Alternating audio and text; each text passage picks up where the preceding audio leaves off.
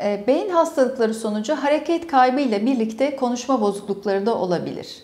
Konuşma bozuklukları aynı zamanda duyarak anlama, tekrar etme, hesap etme, okuma, okuduğunu anlama, yazma, hesap yapma gibi bozukluklarla birlikte seyreder.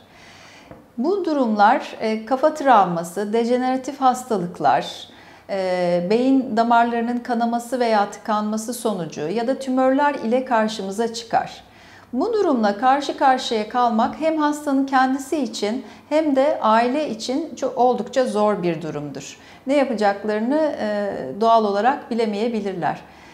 Zamana karşı yarış içinde olduğumuz için ilk aylar çok kıymetli olduğu için bu gibi durumlarda çok fazla oyalanmadan fizik tedavisiyle birlikte hemen hemen aynı zamanda konuşma tedavisine de başlamak gerekiyor.